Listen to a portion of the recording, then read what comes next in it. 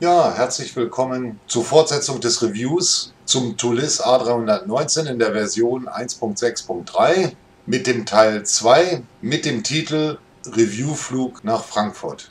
Ja, während wir bereits einige Themen zum Tulis schon behandelt haben. Hauptsächlich natürlich das Thema mit dem Radio, warum überhaupt dieses Review jetzt durchgeführt wird von meiner Seite. Sprich der jetzt vorhandenen Funktionalität der Standby-Navigationseinheit im Radio möchte ich jetzt durch die weiteren Themen in Form eines Fluges von Zürich nach Frankfurt durchführen. An dieser Stelle möchte ich aber nochmal betonen, ich habe ja Captain Ingo angesprochen, ich werde hier noch exakt die gleichen Procedures, Checklisten benutzen und anwenden, die ich auch in den alten Flügen benutzt habe. Das hat hauptsächlich den Vorteil, dass die Vergleichbarkeit weiterhin gegeben ist. Aber hier muss man auch sagen, das war auch noch der alte Simulations-Hobbypilot Lorenz Burggraf, welcher sich dank Captain Ingo jetzt ja weiterentwickeln wird.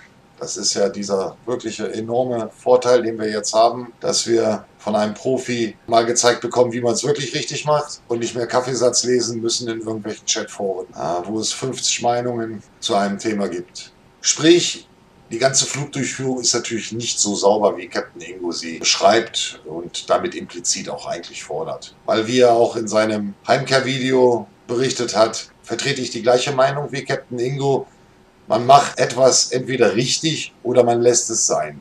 Und ich habe den Anspruch, das, was ich mache, richtig zu machen. Sprich, ein Flugzeug von Cold und Dark hochzufahren und dann nach XYZ zu fliegen, sollte natürlich auch richtig gemacht werden und nicht mit irgendeinem Halbwissen durchgeführt werden. Um das auch nochmal klar zu machen, Captain Ingo ist Pilot einer A320, also ein Profi. Und all das, was er dort in diesem Zusammenhang uns zeigt, das ist unsere Referenz. Aber auch der Captain Ingo ist natürlich nicht unfehlbar. Und es gibt bestimmt auch andere professionelle Piloten, die in dem einen oder anderen Fall auch Dinge anders machen würden. Und da könnte man sich jetzt drüber drum streiten, aber darum geht es nicht. Da liegt es auch in der Natur der Sache, dass ich natürlich auch manche Dinge besser verstehe äh, oder besser weiß, wollen wir es mal so platt mal darstellen, als natürlich Captain Ingo.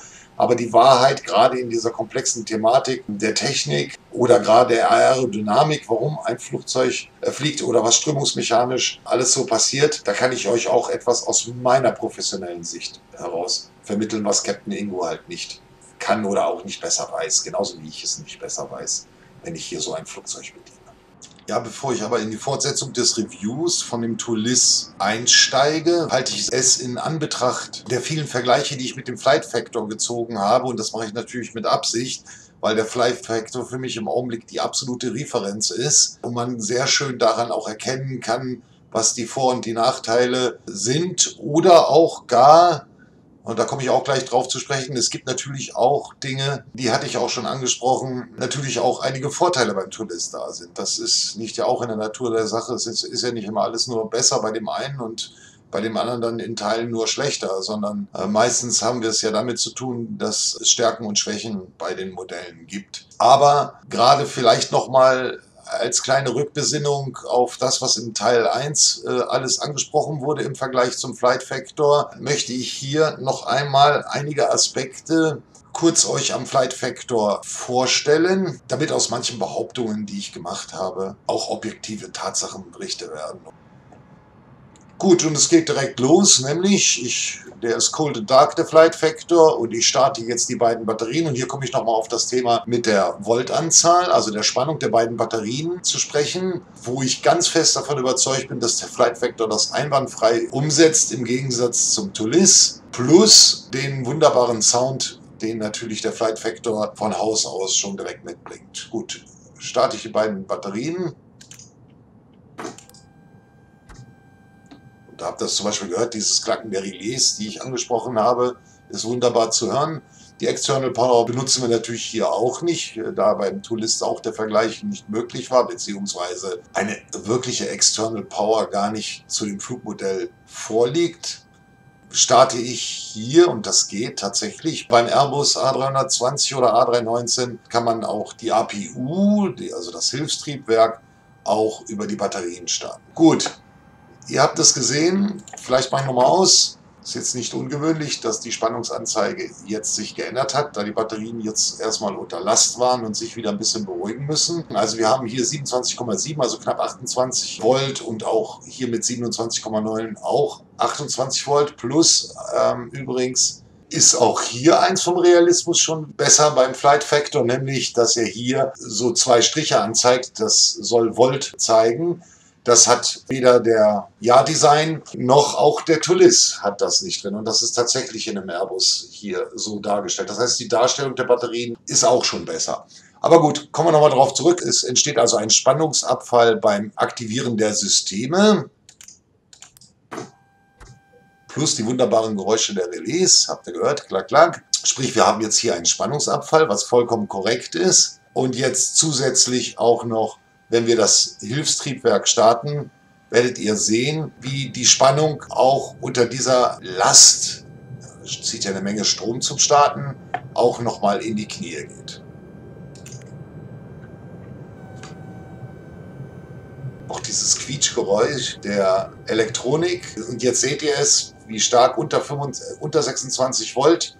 Und jetzt kommt natürlich ein Effekt, wenn das Triebwerk selber gestartet ist, und das sieht man hier am Abgasstrahl, welcher übrigens auch im Nachgang hier nicht plötzlich so einen Knick nach oben macht, sondern natürlich schön nach hinten rausgeht. Also beim Tulis hatten wir ja so einen Knick nach oben, das ist nicht so realistisch, das ist also realistischer. Auch jetzt das starke, dominante Geräusch der Klimaanlage, das ist tatsächlich so im Cockpit. Ihr erlaubt, dass ich schon mal auf Hektopascal umschalte.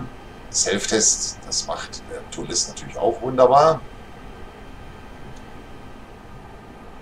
Ja, und was sehen wir hier? Auf einmal haben wir wieder 28 Volt beziehungsweise sogar 29,1 Volt. Und das hängt natürlich damit zusammen, dass jetzt auch der Generator der APU Strom erzeugt. Und ihr seht das hier, APU-Generator, 115 Volt, das ist die typische Wechselspannung in einem Flugzeug. Es gibt noch andere untere Spannungen. Aber gut, man sieht das, der Generator versorgt jetzt natürlich die Systeme mit elektrischem Strom und sendet diese natürlich auch auf die Batterie. Interessanterweise auf die rechte Batterie weniger, beziehungsweise gar keine Ampere. Oh, das ist interessant. Ich glaube, da habe ich dem Captain Ingo nicht richtig zugehört. Da gab es irgendetwas. Im Augenblick wird nur die linke Batterie geladen, die rechte nicht. Kann ich euch aber jetzt ganz genau nicht erzählen, aber Captain Ingo weiß genau, was hier passiert. Das hat er ja auch in seinen äh, Videos gezeigt. Fakt ist, jetzt ist auch zu verstehen, warum hier eine wesentlich höhere Ladespannung ist, weil auch hier nur geladen wird und im Augenblick der Batterie 2 nicht geladen wird. Batterie 1 wird geladen, also ist die Spannung hier oben in der Anzeige für die Batterie 1 auch höher. Ist also vollkommen korrekt alles umgesetzt und das ist definitiv beim Tulis nicht umgesetzt in all diesen einzelnen Punkten, die ich jetzt äh, beschrieben habe. Gut, aber kommen wir vielleicht direkt dazu, zu der Spiegelung der Displays, also PFD, ND und den E-Cams. Ähm, da hatte ich irgendwie gedacht, hier werden auch Spiegeleffekte simuliert und die sind aber beim Flight Factor nicht simuliert. Sprich, hier ein eindeutiger Pluspunkt vom Tulis. Der Tulis simuliert tatsächlich die Spiegelungen in den einzelnen Displays, was der Flight Factor nicht tut. Das heißt, hier ist der Flight Factor in puncto Realismus nicht so realistisch wie der Tulis. Ja, so einfach ist das, sprich, was ich vorhin gesagt habe, hier wechseln sich natürlich auch Vor- und Nachteile irgendwie ab, wobei bisher sieht man, dass der Flight Factor hier wesentlich besser war. Gut, sehr schön. Habe ich übrigens nicht überprüft. Beim Tulis werde ich vielleicht noch tun.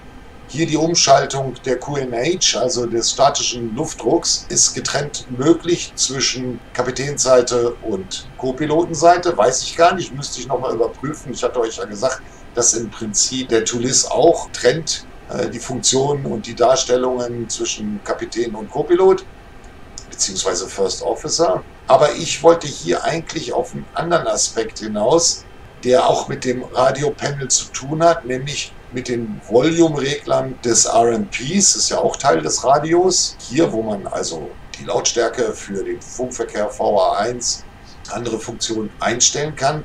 Und ich meine jetzt schon zu sehen, dass der Tulis zwar simuliert hat, dass ich die Standby-Navigation getrennt und auch die Frequenzeingaben und so weiter getrennt machen kann. Aber hier schon ist zu sehen, dass er, und das ist realistisch, der Flight Factor macht das, er unterscheidet zwischen der Kapitäns- und der Co-Pilotenseite.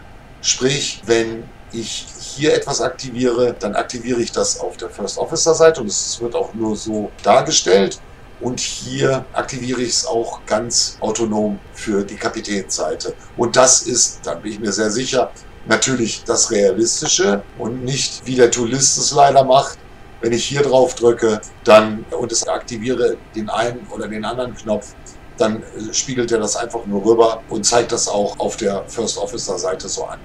Sprich, könnte ich jetzt fast sagen, zu früh gelobt, aber hier sieht man, wie konsequent der Flight Factor in seiner realen Umsetzung dem Tulis äh, auch mal wieder voraus ist. Plus, und das ist jetzt vielleicht ganz interessant, das hatte ich angesprochen bei dem anderen Video, dass ich meinte, dass der Knopf rein und raus springt. Und dem ist auch so, wenn ihr genau hinguckt, der Knopf erhebt sich in die Höhe. Hier ist er jetzt eingedrückt. Wenn ich einmal drauf drücke, dann springt er raus. Seine sogenannte Spring-Loaded Button, den ich dann auch jetzt drehen kann. Und der ist aktiv, wird durch seine Position, nämlich dass er raushebt nach oben, plus Licht äh, dargestellt. Der Tulis hat hier nur eine Lichtanzeige, was zwar in Ordnung ist, aber eben halt nicht so realistisch ist wie beim Flight Factor, der wirklich dieses Instrument eins zu eins einwandfrei umgesetzt hat. Ja gut, und mit der getrennten Bedienbarkeit, da bin ich mir jetzt schon sicher, wird der Captain Ingo auch mir dann zustimmen. Ja, alles schön und gut, aber äh, der Tulis äh, macht das nicht und ähm, wahrscheinlich wird er auch in der Funktionalität noch etwas darstellen, aber das ist jetzt nur eine Vermutung. Ja, kommen wir vielleicht nochmal gerade zu dem Thema Reifen. Da hatte ich mir natürlich im Nachgang vom Video auch nochmal ein bisschen Gedanken gemacht. Da könnte es sein oder da kann man argumentieren seitens Tulis, ja klar, genau das, was sich hier abplattet, haben wir das Flugzeug abgesenkt und deswegen verschwinden die Reifen auch im Flugvorfeld. Und damit ist natürlich auch die Höhe zum Boden und alles realistischer bei uns beim Tulis. So kann man argumentieren. Ich hoffe natürlich nicht, dass Sie jetzt aufgrund meines Videos im Nachgang so argumentieren werden, aber das ist mir halt eingefallen.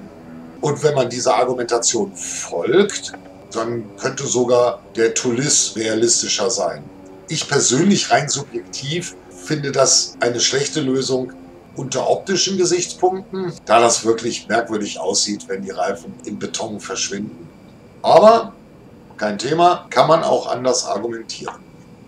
Gut, ich denke mir, aufgrund meiner Ausführungen, jetzt habt ihr verstanden, warum ich das jetzt noch mal kurz eingeschoben habe, bevor ich jetzt mit dem eigentlichen Review des Teil 2 fortfahre. Ja, und im Nachgang zum Nachgang des Teil 1 kann ich auch eine Fragestellung jetzt beantworten. Und das ist, ob auch die statische Luftdruckanzeige verschieden bedienbar ist von der Kapitänsseite und der First Officer Seite. Und das Ganze kann man hier beantworten. Ja, sie ist getrennt bedienbar. Also wunderbar. Bleibt also nach jetzigem Reviewstand nur das einzige Manko mit den Volume-Reglern, welche nicht getrennt realisiert sind. Hier vielleicht auch nochmal im Nachgang zum Nachgang gezeigt. Hier wird immer gespiegelt, was gemacht wird.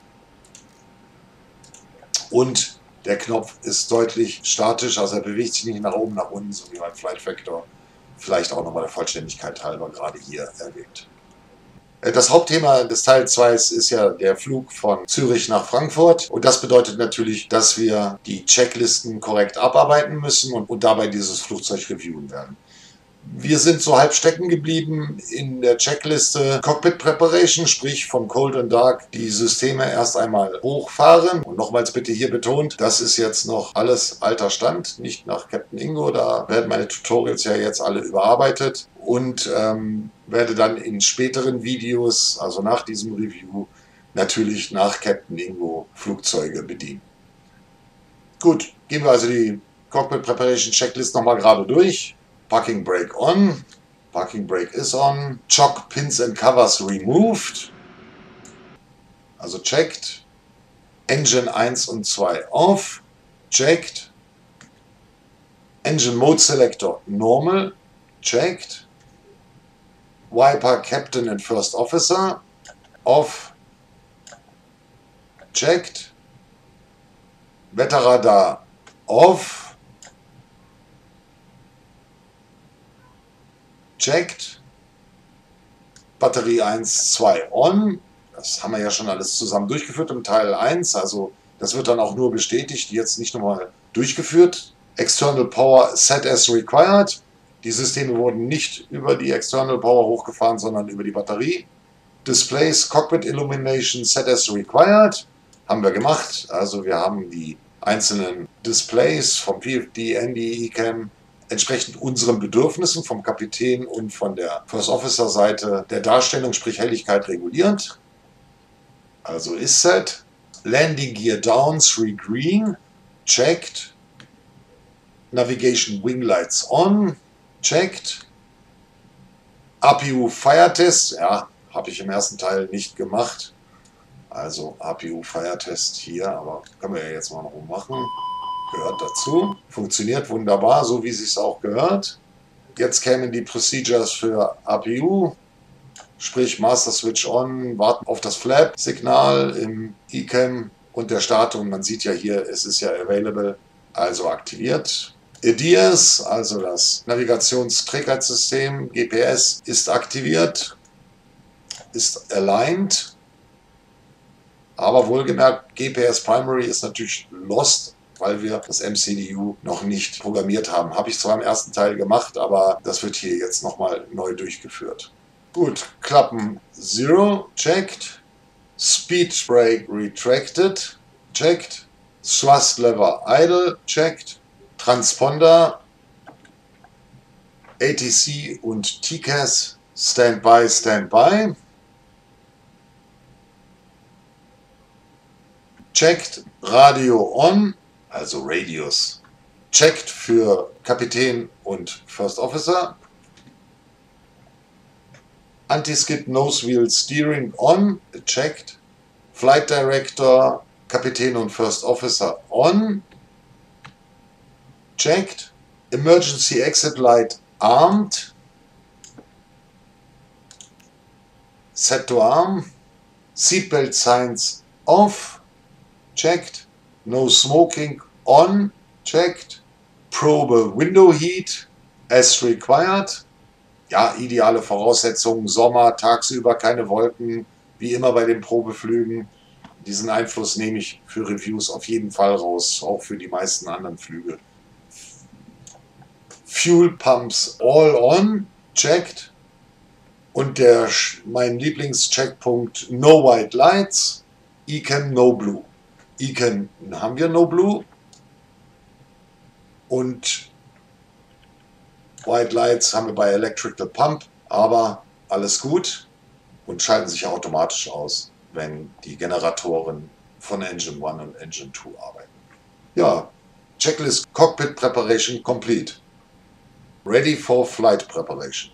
Ja, aber bevor wir mit der Checkliste Flight Preparation fortfahren, schieben wir hier einen Review-Punkt ein, der auch immer wichtig ist, nämlich der Ressourcenhunger eines Modells. Die verschiedenen Flugmodelle von Ja Design, Flight Factor oder auch Tulis oder auch andere haben ja einen gewissen Bedarf an CPU und GPU Ressourcen und das ist ja auch ein wichtiger Punkt. Sprich, beim Flight Factor weiß ich ziemlich genau, dass er sehr ressourcenhungrig ist. Das heißt, man braucht auch eine entsprechende Hardware, diesen ordentlich betreiben zu können mit welchen Tricks man die Ressourcen schonen kann, habe ich in diversen Videos beschrieben. So ist zum Beispiel die Frame-Rate bei meinem Rechner begrenzt auf 30 Frames, womit der GPU, die ja meistens das schwächste Glied in der Kette der Hardware ist, nicht mehr als nötig äh, belastet wird.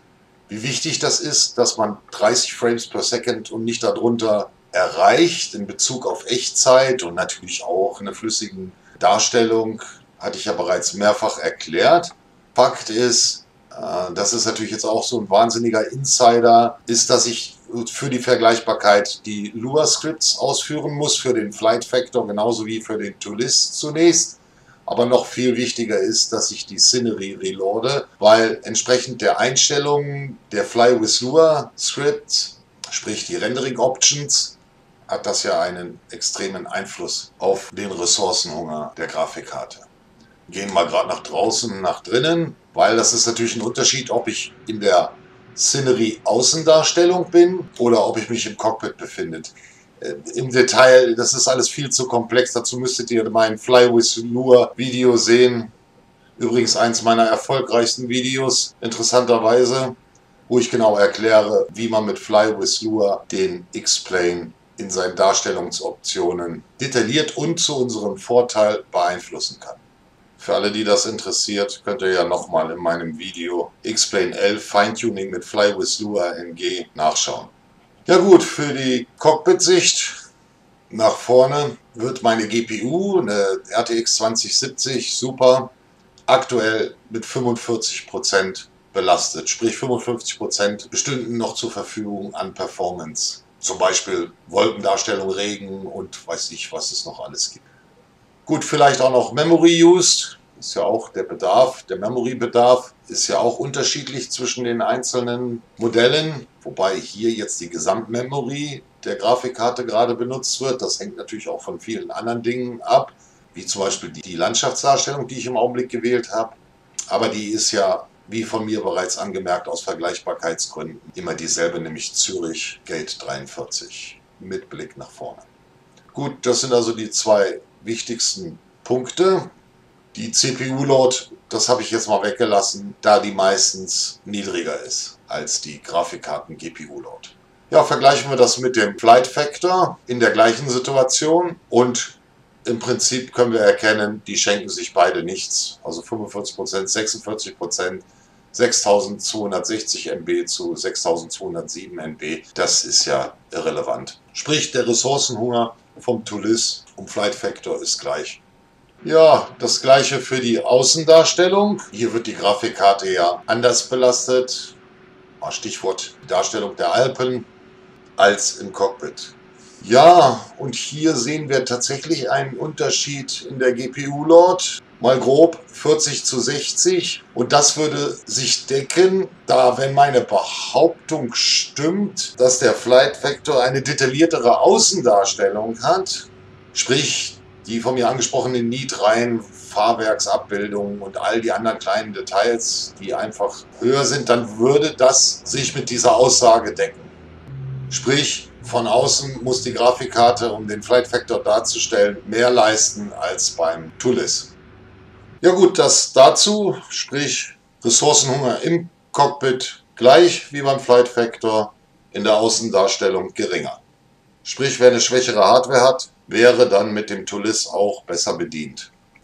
Fahren wir fort mit der Checkliste Flight Preparation und schauen uns an, wie der Tulis sich bei den einzelnen Checklistenpunkten verhält ja, Anti-Ice, All Off, checked, APU eCam,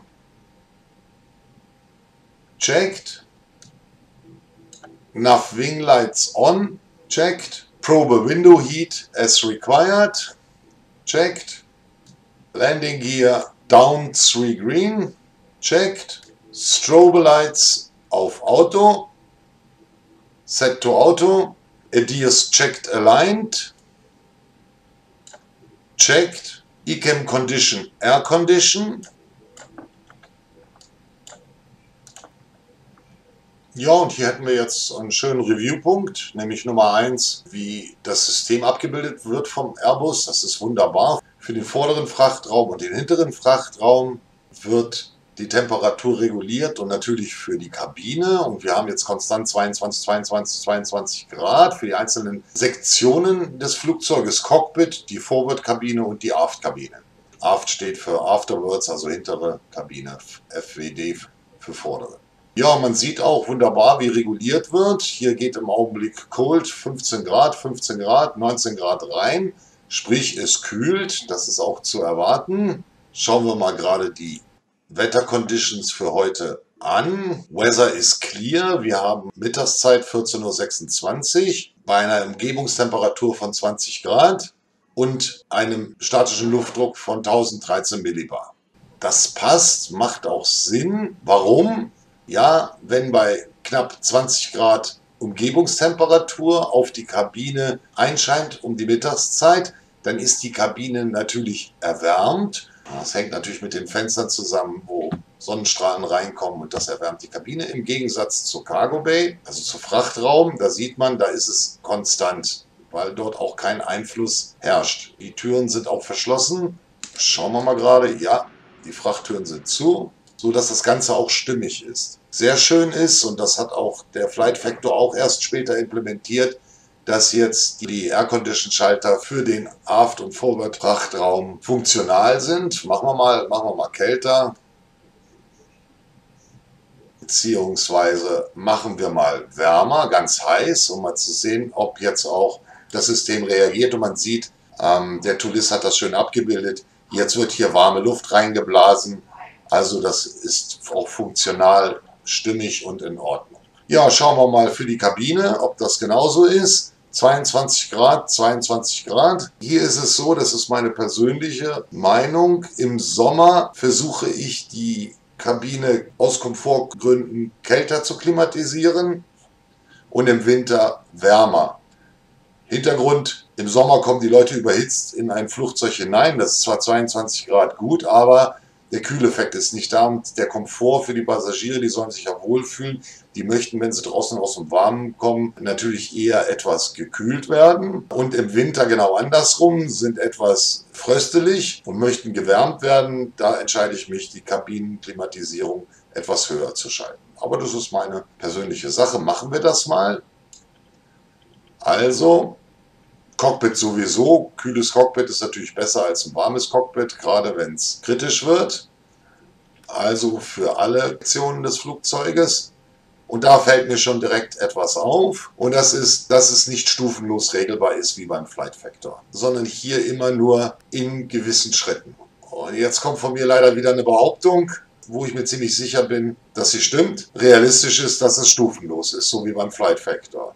Sprich, hier ein wenig Abstriche im Punkto Realismus beim Tulis, was die Klimasteuerung betrifft. Das gilt für alle Sektionen, also Kabine und Fracht. Gut, aber man sieht sofort, das System reagiert. 17, 12, 12 Grad liegen an und die Kabine reguliert sich jetzt zu niedrigeren Temperaturen. Und allein hieran kann man schon erkennen, ich weiß nicht, wo sich das einpendelt, aber ich hatte natürlich nicht die Absicht, von 20 auf 17 Grad zu gehen oder auch auf 19. Die Leute sollen ja auch nicht frieren, sondern ich wollte natürlich leicht runterregulieren, sprich 21, 20 Grad vielleicht für eine Wohlfühltemperatur. Und das ist natürlich nicht möglich, wenn man es nicht stufenlos wie beim Flight Factor machen kann. Aber gut, ihr seht, durch diese Checklisten hangel ich mich hier auch durch die einzelnen Systeme jetzt durch und bemerke solche Details. Also wenn ich jetzt eine Note vergeben müsste, würde ich sagen, hier eine 2 für den Tulis und eine 1 für den Flight Factor. Ja, Barrow Reference, wollen wir direkt mal gucken. Also der statische vorherrschende Luftdruck im Augenblick in Zürich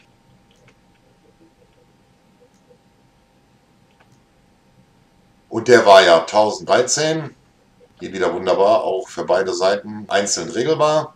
Aber der Checklistenpunkt war nicht nur den statischen Luftdruck im EFIS-Panel einzustellen, sondern auch zu verifizieren. Und wer meine Videos kennt, weiß, was verifizieren ist.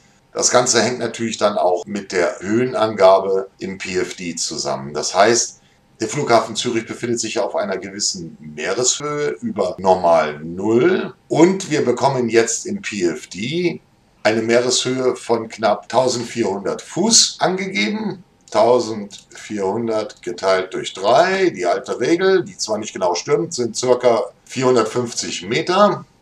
Und vergleicht man das mit Zürich Switzerland Airport Chart, sehen wir hier Airport Elevation 1417 stimmt überein. Sprich, wir haben auch gecheckt, dass der statische Luftdruck, den wir eingegeben haben, auch tatsächlich mit der Höhenangabe im PFD korrespondiert und sprich damit richtig ist. Aber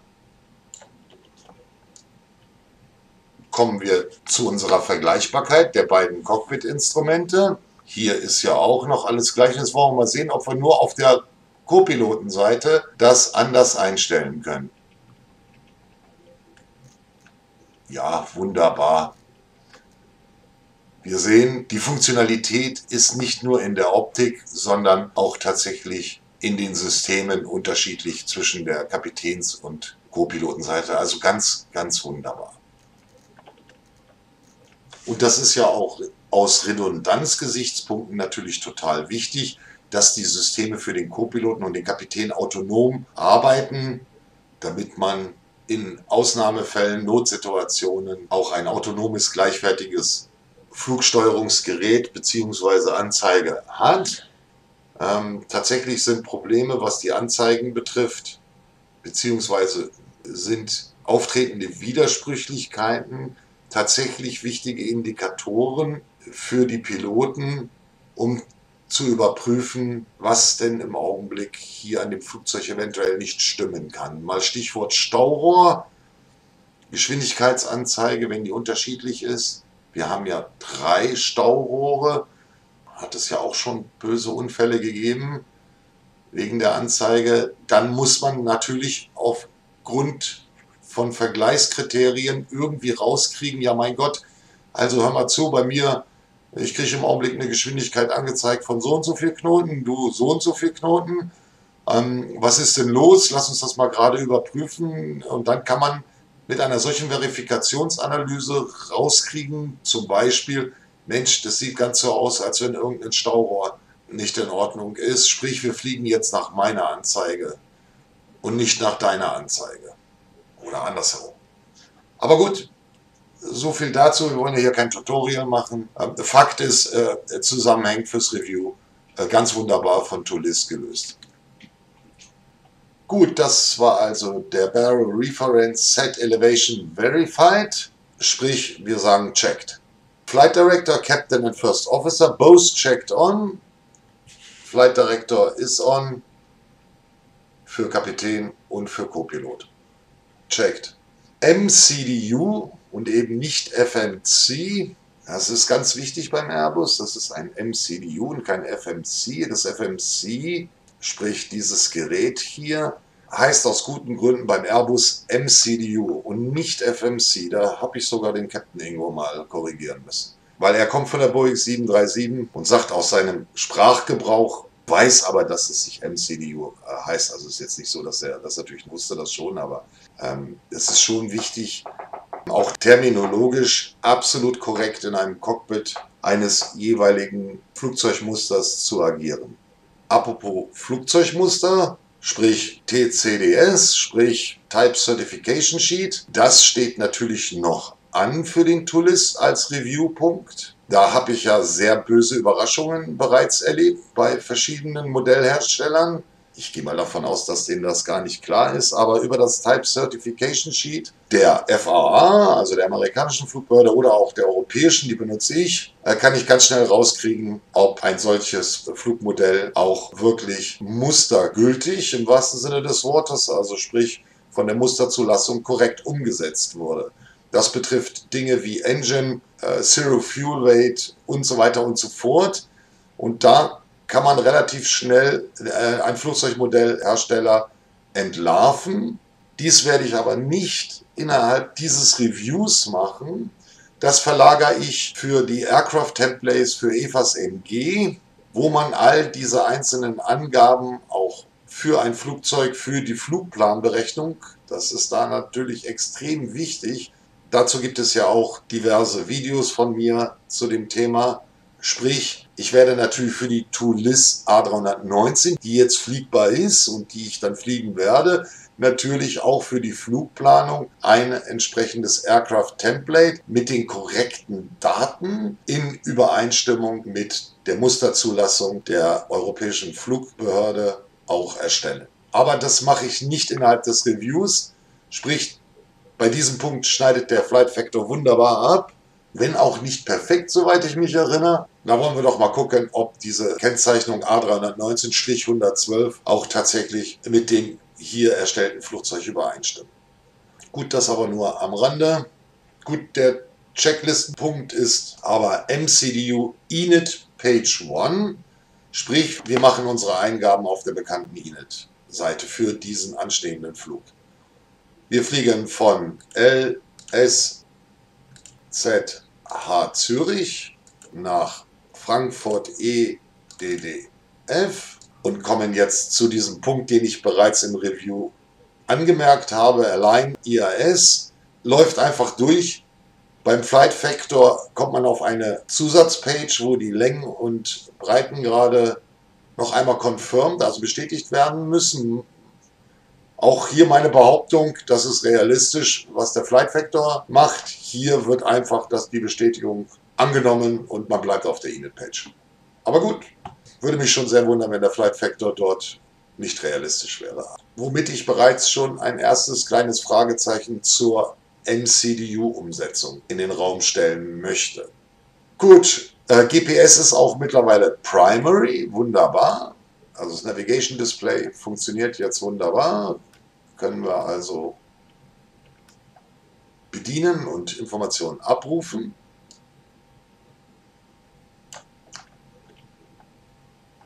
Hier mache ich natürlich nichts anderes, als was ich schon im Teil 1 gemacht habe, dass ich jetzt die 240 für Flight Level 240, sprich 24.000 Fuß Reiseflughöhe angebe. Genauso Kostindex mit 35 und natürlich unsere Flugnummer LH123 oder auf Englisch LH123. Ah, da seht ihr schon, die Phrasen, das 3 wird nicht 3, sondern Tri genannt, weil es einfach eindeutiger ist in der Kommunikation. So viel zum Thema Englisch beim Fliegen. Ähm, das sind alles Konventionen, Phrasen, äh, die man einfach auswendig lernt, äh, ohne dabei den Anspruch zu haben, dass man jetzt Englisch kann. Aber gut, auch das mal wieder nur am Rande. Sage ich ja immer so gerne, lange Rede, kurzer Sinn. Ähm, Stimmt, ich bin kein Freund der kurzen Worte, sondern der langen Worte. Das wird euch wahrscheinlich auch schon aufgefallen sein. Ähm, das ist aber auch manchmal auch von Vorteil, etwas ausführlicher Dinge zu machen. Das ist natürlich wieder nicht Mainstream-mäßig für die Videos, die ja nur eine Viertelstunde sein müssen und so weiter. Aber auch das ist wieder natürlich ein Thema, das eigentlich jetzt hier nicht reingehört. Äh, ganz nach Captain Ingo, der natürlich auch lange Rede verwendet. Wer seine Videos kennt, weiß, dass er extrem ausführlich und bis ins letzte Detail jeden einzelnen Punkt durchkaut, ähm, weil er sagt, ich mache es entweder richtig oder gar nicht. Und so ist das bei mir halt auch. Aber gut, die Abonnenten, die ich habe, schätzen das ja anscheinend auch. Und ähm, für die sind ja auch primär diese Videos gemacht von mir. Weil das gilt für die Flugsimulator-Fliegerei auf jeden Fall. Hier muss man sich Zeit einfach nehmen für dieses Hobby und sich in die verschiedensten Themenbereiche einarbeiten. Dieses, ich schmeiß mal gerade den Flugsimulator an und flieg mal, äh, mal gerade von A nach B. Ja, kann man machen, hat aber nichts mit Fliegen zu tun, sondern natürlich all diese kleinen Details, dass man die einigermaßen auch beherrscht. Gut, fahren wir fort. Also Checklistenpunkt, Init Page 1 ist set. Ja, schauen wir vielleicht mal gerade beim Co-Piloten rein. Und siehe da, und das ist auch korrekt, das ist jetzt nicht gespiegelt, sondern einer von beiden, weil bei der Flugvorbereitung kann ja auch der Kapitän Eingaben machen und auch der Co-Pilot, äh, getrennt natürlich. Aber äh, sie fliegen natürlich mit einer Init-Angabe, genau wie bei allen anderen Sachen und nicht mit zwei getrennten. Also das hat jetzt nichts mit Spiegeln zu tun, sondern das ist natürlich vollkommen korrekt. Können wir ja vielleicht gerade mal machen zur Demonstration. Gehen wir mal den Kostindex mit 40 an auf der Kapitänsseite und zack, hat sich auch bei der Co-Pilotenseite geändert. Das ist vollkommen korrekt. Ja, EFIS Mode Set for Navigation. Das ist jetzt ein Punkt von mir, weil ich im Selected und nicht im Managed Mode fliege. Ich navigiere selber, deswegen ist bei mir vor VOA Navigation angesagt. Ja, die nächsten beiden Checklistenpunkte Lord Sheet checkt Center of Gravity und Fuel Quantity Ecam Fuel. Dann weiter folgen Take-Off Data, Calc Up, und MCDU Set Verify sind natürlich Punkte, die jetzt ganz direkte Punkte der Flugvorbereitung sind. Und das hatte ich ja auch schon in dem ersten Teil alles mit euch gemacht. Das wird jetzt hier einfach nur vervollständigt. Ich setze mal wieder auf 6000 Kilogramm für den Sprit. Hieran hat sich nichts geändert an den Gewichtsverteilungen aufgrund von Cargoway und Passengers und so weiter und so fort. Für die Berechnung der, der Startdaten in Bezug auf die Trimmung, beziehungsweise Zero Fuel Weight in Bezug auf Center of Gravity und natürlich unserem Zero Fuel Weight. Ja, geben wir die Daten gerade ein. Das hatte ich ja schon gesagt, das finde ich nicht so schön wie beim Flight Factor. Da ist ja in dem EFB, das ist ja dieses Tablet, das hier auf der linken Seite ist, kann man ja wunderbar die gesamten Systeme und das ganze Weight Management und Performance Management auch durchführen und bleibt irgendwie doch im Cockpit, ohne dass man hier so eine virtuelle Seite bekommt, was ich unter Realitätsgesichtspunkten einfach realistischer finde. Äh, die Piloten arbeiten ja auch tatsächlich mit diesen Geräten für ihre Flugvorbereitung.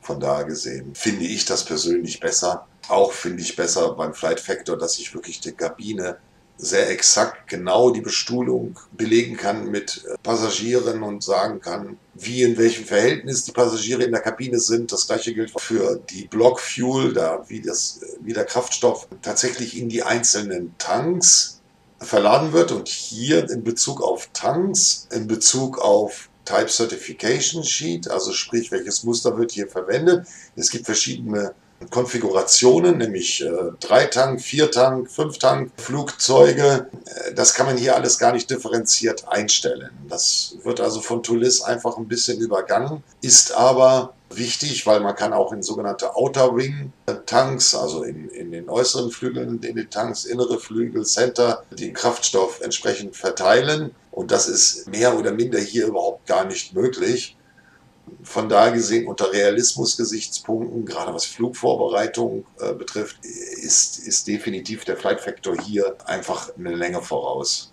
Aber gut, hier geht es ja mehr um Performance-Daten, sprich auch Init Page B. Das muss man jetzt hier leider so übertragen, so wie ich es auch schon im ersten Teil gemacht habe. Das mache ich auch jetzt einfach.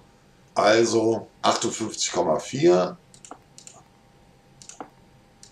4 Tonnen mit einem Center of Gravity von 29,7 und der Block Fuel von 6 Tonnen. Damit haben wir die Take-Off-Weight 24,2. Wie gesagt, beim Flight Factor alles etwas komfortabler gelöst, und, aber ist ja nichts Falsches. Ja, damit können wir auch direkt die Trimmung einstellen. 29,7 und schalten im eCam Lower Display auf Flight Control. Warum? Weil der Pitch Trim für die Gewichtsbeladungssituation auch entsprechend gesteuert wird. Und 29,7 ist ja in etwa 30. Sprich, wir haben ein Pitch drin von 0 Grad down. Und das brauchen wir jetzt. Auch ein bisschen umständlich, dass man das jetzt selber umrechnen muss, damit man in der Performance Page, das ist der Punkt, die diese Pitch-Trim-Angabe auch eintragen kann. Gut, wir wählen von Zürich die Flaps 1. Flaps 1 mit Down 00.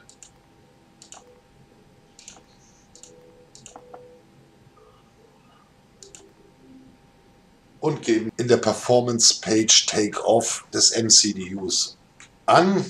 Für die Flex Temperatur, ist auch ein eigenes Thema für sich. Ja, wähle ich 44, gehe ich jetzt nicht näher drauf ein.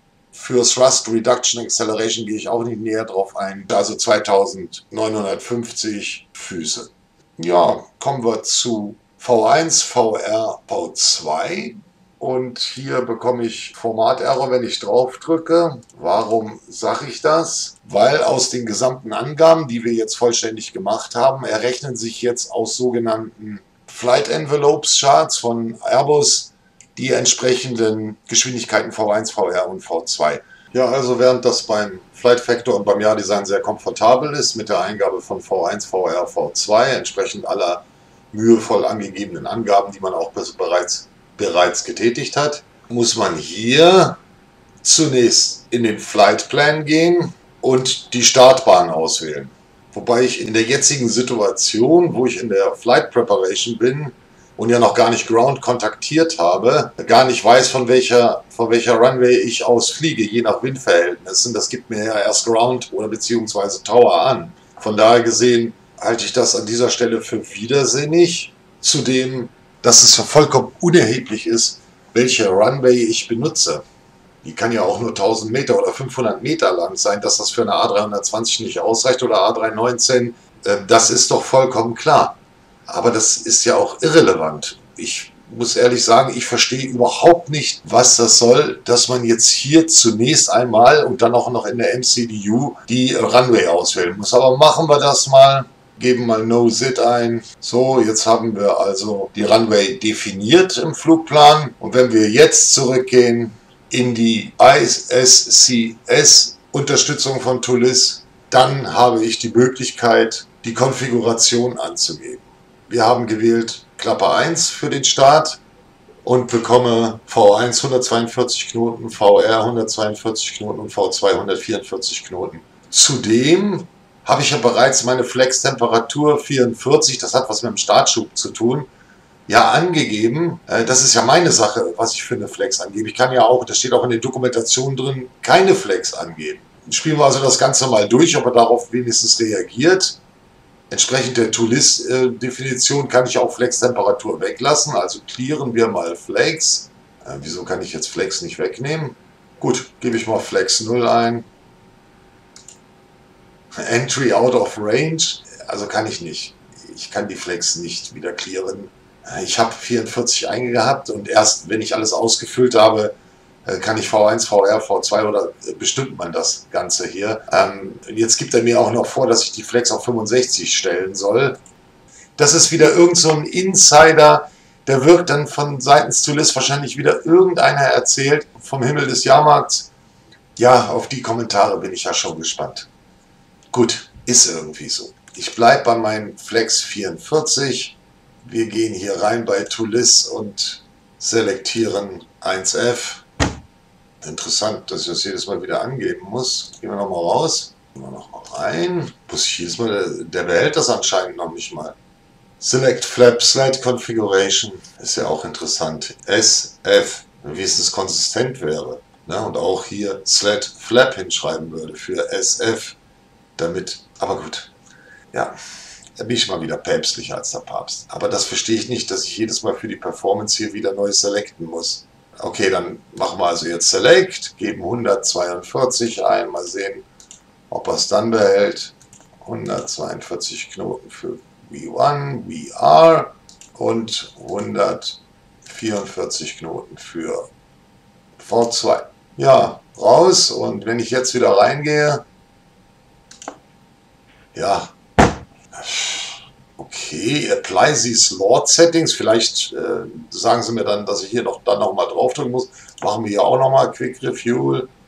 Gehen raus, gehen wieder rein und es ist wieder zum Selektieren da. Also die Wege des Herrn sind unergründlich. Gut, das ist ein Review. Ich, ich werde hier jetzt meine Meinung zu sagen.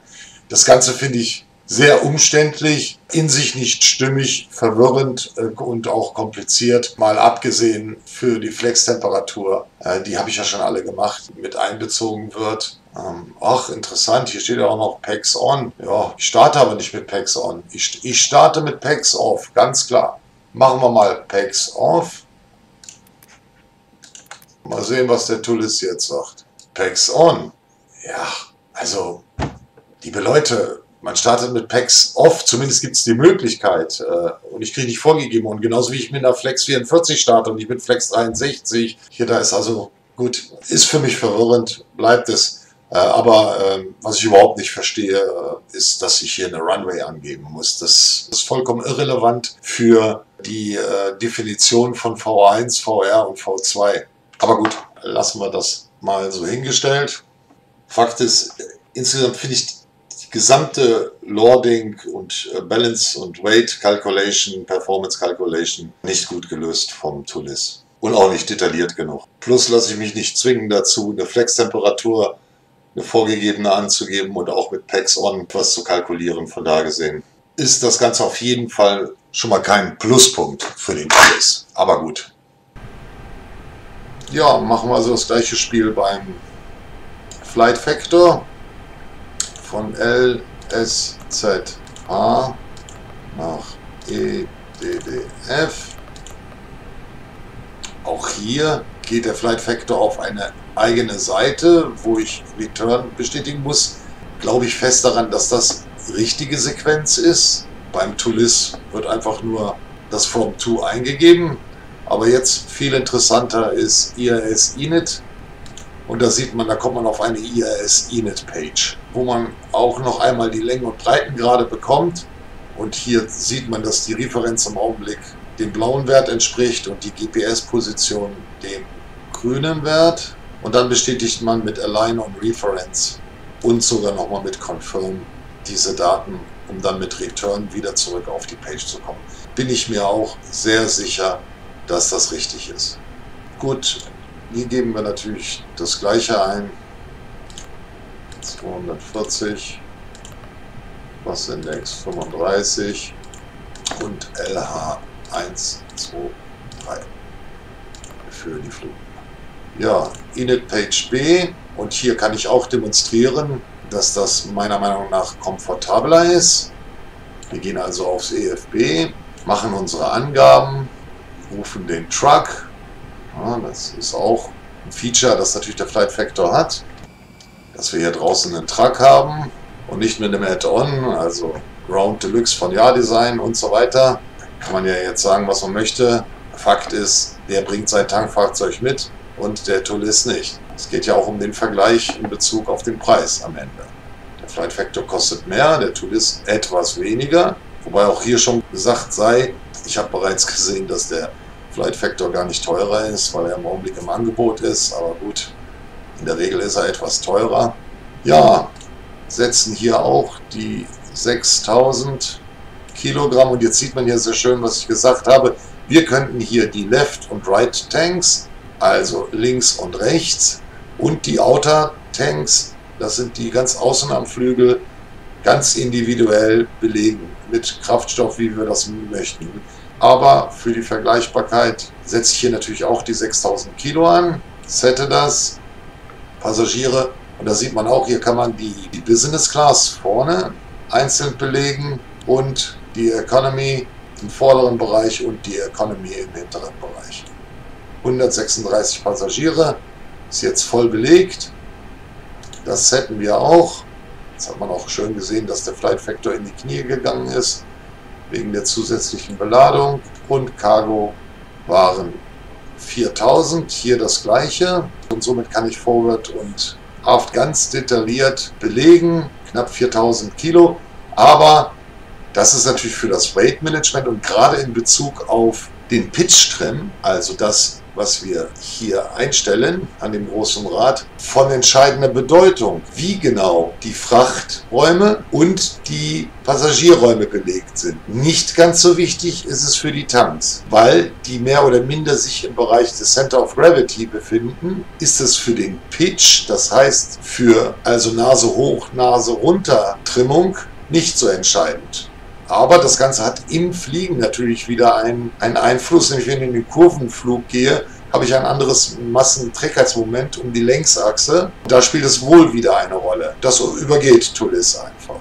Bin mir sehr sicher, dass der Flight Factor auch das berücksichtigt in seinem Flugverhalten.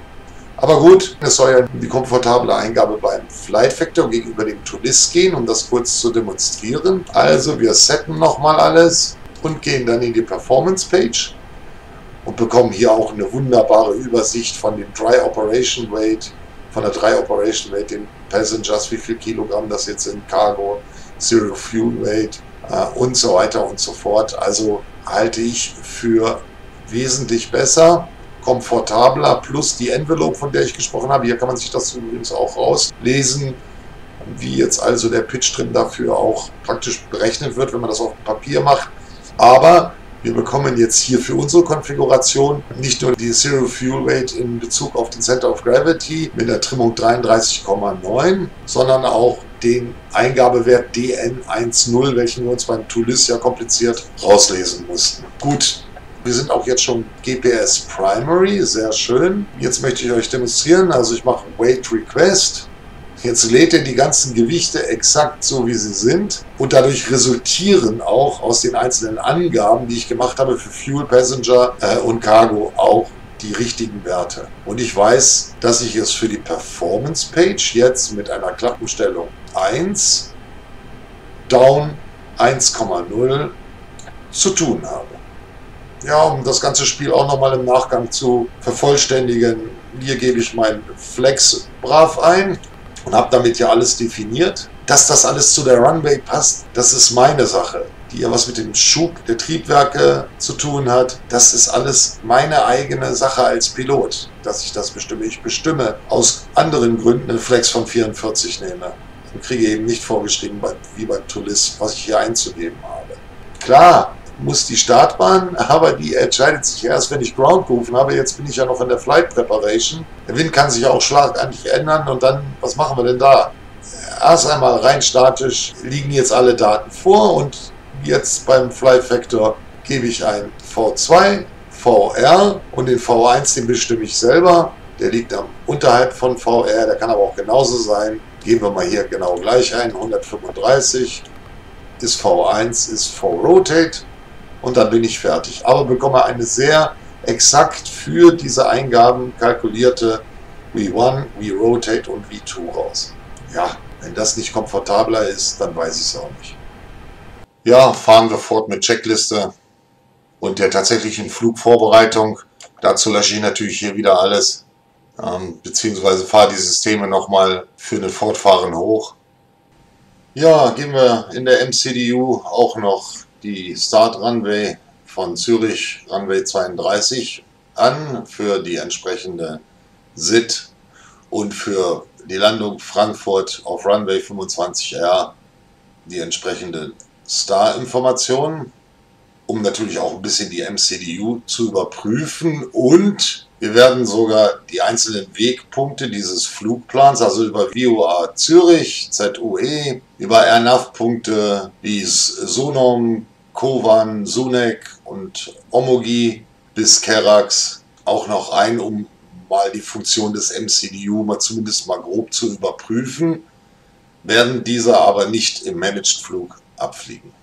Hier geht es hauptsächlich auch um die Darstellung des NDs, also im ARC-Modus sehen wir ja dann den Streckenverlauf korrekt. Wollen ja auch sehen, dass die MCDU und Tulis einwandfrei funktioniert. Gut, also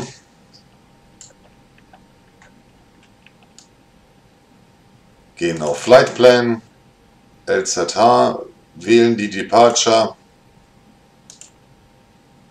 Runway 32 mit einer SID, Diges, also direkt nach dem Start, nach positiv klein, fliegen wir einen Kurs 330 Grad, bis wir 4 nautische Meilen vom VOA KLO weg sind, um dann in einen Rechtsschwenk auf 75 Grad mit maximal 210 Knoten für das SIT-Abflugverfahren DGIS 2N auf den VOA Zürich 110,05 zuzufliegen. So, wählen also DG2N, fügen diesen ein.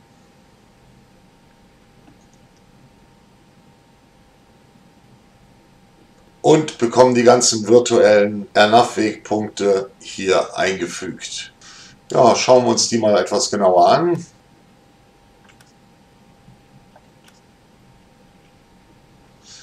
Ja, wir fliegen den SIP nicht komplett bis zum RNAV-Punkt ab, sprich wir löschen aus der MCDU die Wegpunkte ZH506, Kolul, ZH504, ZH525 und DGIS raus.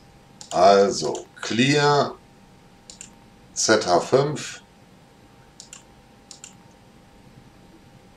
clear Kolul, clear ZH525 clearen die Discontinuity, clearen Z504, clearen Deges,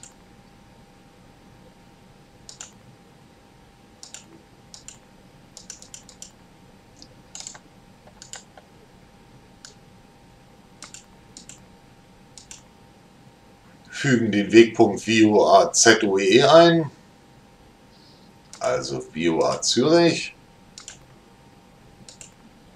Den gibt es zweimal, aber wir wollen den mit der Frequenz 110. Ja, und geben die anderen RNAV-Wegpunkte bis zum Arrival und Final Approach RNAV-Wegpunkt Kerax an, um dann über die Star weiter zu operieren. Ja, der nächste Punkt ist Ernaf Songi, S-O-N-G-I, So Nom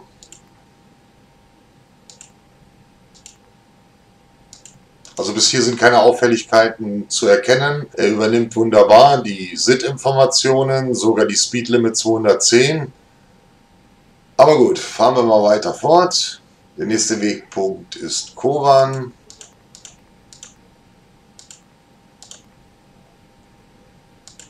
Hier zwischen errechnet er MCDU korrekterweise auch das Erreichen der Reiseflughöhe. Also die Funktionalität ist auf jeden Fall in Ordnung. Sprich, nach elf Minuten hätten wir, wenn wir exakt nach der MCDU fliegen würden, also nach dem Flightplan fliegen würden, diese Höhe erreicht, sprich im Managed Mode. Wir fliegen aber natürlich in der Luftfahrt nicht nach, nicht nach der MCDU primär, sondern nach Angaben von Flight Control, sprich das sind nur vorläufige Informationen.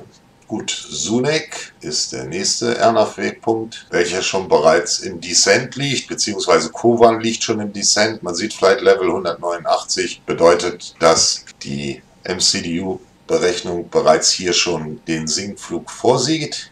Aber Flight Level 127, sprich wir sind im Arrival, Flight Level 150 typischerweise. Gut, es geht weiter über RNAV Omogi,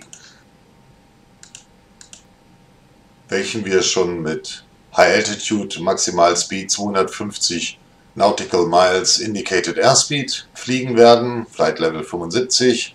Also unter Flight Level 100 fliegen wir ja standardmäßig 250 Max. Also die Umsetzung ist bis hierhin okay. Dann zum RNAV-Wegpunkt Kerax. Man sieht, wie sich das auch dynamisch verändert. Je mehr Wegpunkte wir eingeben, alles wunderbar.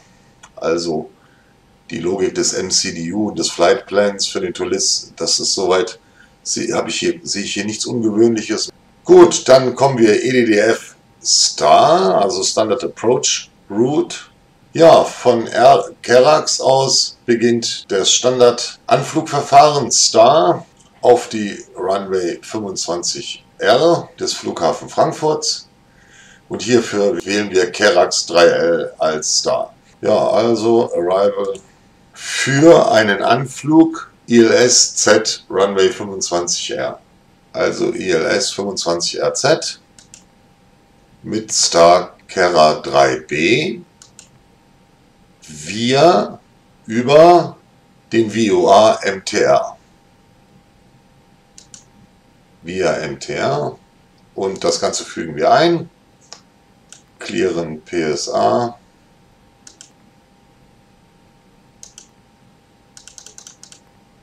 und clearen char.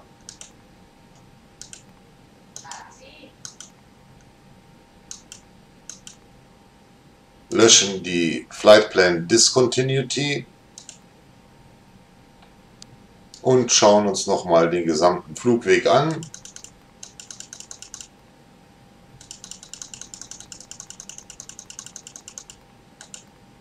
Ja, der Anflug über Zürich VOA ist nicht besonders geschickt, habe ich auch in meinen anderen Flügen bisher schon bemerkt. Ist eigentlich ein Fehler, den VOA Zürich mit reinzunehmen. Man sieht das hier, der Airbus Bordcomputer berechnet, dass es nicht geschickt ist, über den VOA zu fliegen. Wir fliegen zwar drauf zu, damit wir über diesen Ernaf-Wegpunkt äh, rüber können, müssen aber dann schon direkt in eine Linkskurve einschwenken, um auf Songi zu kommen.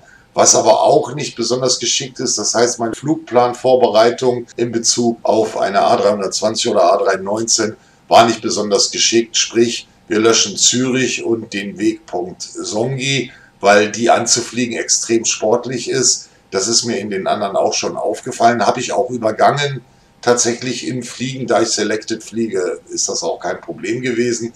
Aber der Bordcomputer zeigt mir ganz wunderbar, dass meine ursprüngliche Flugplanung ähm, für die Performance des Flugzeuges, sprich die Fluggeschwindigkeit, äh, nicht besonders geschickt ist. Äh, sprich, ich schmeiße Zürich raus, VOA Zürich, den ich zwar manuell im VOA anfliegen werde, und cleare auch noch den Songi,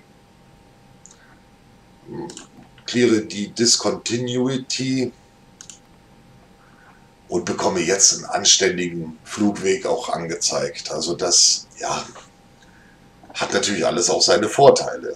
Mit Managed Mode zu fliegen und sich immer mit der MCDU auch auseinanderzusetzen, die eigene Flugwegplanung. Klar ist mir das im Fliegen aufgefallen und ich habe natürlich auch dynamisch reagiert, was auch in Ordnung ist, weil solange Control mir keine Vektoren oder Anweisungen gibt, kann ich natürlich dazwischen relativ frei auffliegen. Klar, der, der aufgegebene Flugplan äh, hat dann zwar Abweichungen, das würde Control vielleicht auch bemerken und mich dann anfunken und sagen, hier hör mal zu, das ist aber jetzt merkwürdig, du wolltest doch zum Sender, aber das tust du ja gar nicht. Aber so, so streng ist das jetzt auch nicht. Gut, ich nehme auf jeden Fall diese beiden Wegpunkte raus das hat auch hauptsächlich Gründe, weil ich das EFAS benutze und das EFAS äh, auch Probleme mit SIT und Star hat. Und das EFAS, wenn ich ihm sagen würde, direkt nach dem Flughafen zum Wegpunkt Sonum, dann ist das eine durchgezogene Linie, repräsentiert aber gar nicht meinen tatsächlichen Flugweg, den ich dann auf dem EFAS überprüfen kann. Beziehungsweise auch das gleiche für das 124. ATC.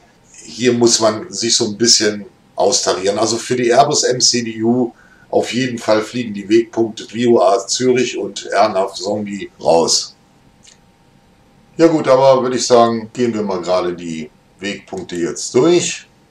Wir starten auf der 32L. Über den Ernaf-Wegpunkt ZH501 weichen wir von ab Richtung Ernaf-Wegpunkt Sunom, fliegen weiter bis Ernaf Kovan, Ernaf Sunek, Ernaf Omigi, um vom Ernaf-Wegpunkt Kerax über den Star Kera 3B via VOA MTR auf die Landebahn 25R des Frankfurter Flughafens zu fliegen.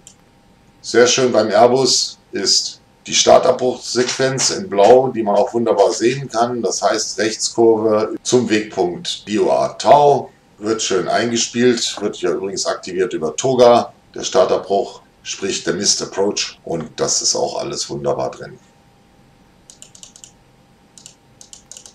Ja, gehen wir natürlich schön auf unseren Ausgangsbereich für den Abflug, entsprechend auch die Range einstellen.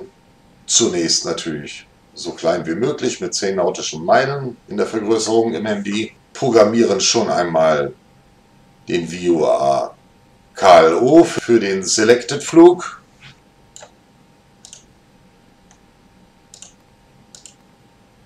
KLO auf 114,85 ist bereits eingegeben. Hier ist es nicht wichtig, einen Kurs einzugeben für VOA, da wir ja nur für den Abflug die Distanzinformation zu dem VOA benötigen. Anders bei Zürich, diesen müssen wir auf 75 Grad ansteuern, damit wir den RNAV-Wegpunkt ZH503 auch erwischen. Sprich, großes Kino. Wir wandern zum Co-Piloten. Radio. Programmieren die Frequenz für VOA Zürich mit 110,05 mit einem Kurs 75 Grad.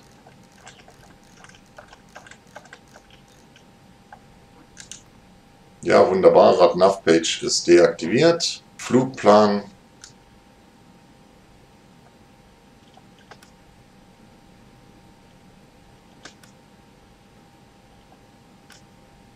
Und haben wunderbar VOA 2, also VOA 2, sprich Zürich mit Kurs 75 Grad im ND zur Anzeige gebracht, während wir für den Abflug auf der Kapitänsseite und der Kapitän ist Flying Pilot. Zunächst im VOA 1 die KLO-Information. Pre-selecten schon mal Zürich für den Kapitän, damit auf seinem Handy dann auch die VOA-Informationen da sind und hätten damit auch unseren Flug soweit vorbereitet, was die Navigationsprogrammierung betrifft. Ja, sehr schön. Hier konnte man jetzt auch mal sehen, wie super das ist, dass tatsächlich beide Seiten auch getrennt voneinander ihre Geräte, nämlich MCDU bzw. Radio, bedienen können. Das Ganze macht natürlich Sinn, genauso wie es auch Sinn macht, dass der Funkverkehr Teil des Radio-Management-Panels getrennt voneinander funktioniert, was ja beim Toolis nicht der Fall ist. Ja, im Autopilot-Panel sind die Managed-Informationen da, diese fliegen wir aber nicht. Sprich, durch Ziehen deaktivieren wir Managed. Das ist im Augenblick der Status. Aktueller Mode ist Managed.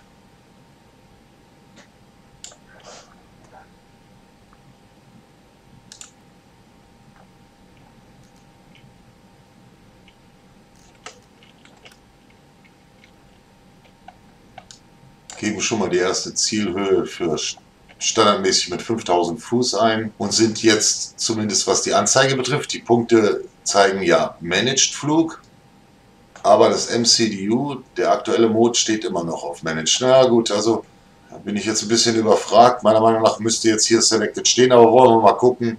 Kurz vorm Start äh, muss dann Selected stehen. Ansonsten wäre das jetzt ein Fehler in Bezug auf die MCDU-Umsetzung. Aber gut, werden wir dann sehen. Fakt ist, ich habe schon mal alles vorselektiert mit sinnhaften Werten. Wollen wir hier vielleicht auch mal eine erste Zielgeschwindigkeit angeben, entsprechend unserer SIT-Chart ist das 210, weil das ein Maximum darstellt. Und für die Heading, also für den Kurs nach dem Start, müssen wir ja die 320 Grad fliegen, also nach dem Start natürlich längs der, der Startbahn. Also Runway 32 ist 315 Grad. Dann machen wir es richtig.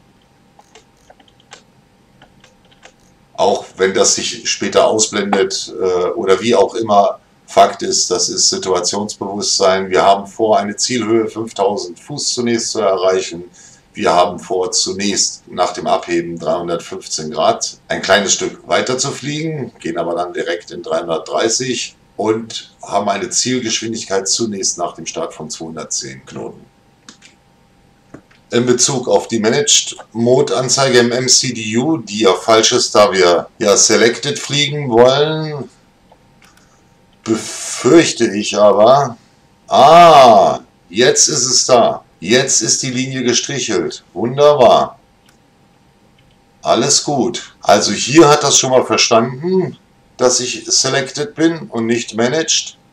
Das Einzige, was jetzt nicht in Ordnung ist, ist, dass sie hier in der MCDU ist. Wollen wir noch mal rein und wieder raus. Das steht aber immer noch managed.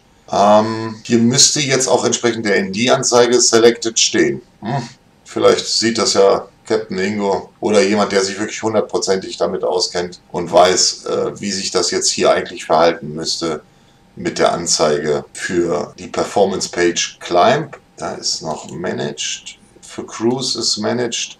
Für Descent ist Managed. Hm. Gut. Warten wir es ab, bis wir dann abheben. Sollte das dann immer noch so sein, so wäre hier definitiv ein Fehler drin. Hier muss irgendwann Selected erscheinen. Der Flight Factor macht das auf jeden Fall. Ja, damit wären die Checklistenpunkte FCU, Preset, Speed erledigt. Radio, ILS, VOR1 to Airport Frequency ähm, Set haben wir gemacht, VOR2 haben wir gesetzt, PFD, ND haben wir gecheckt. Wäre jetzt der Punkt Engine 1 und Engine 2 Fire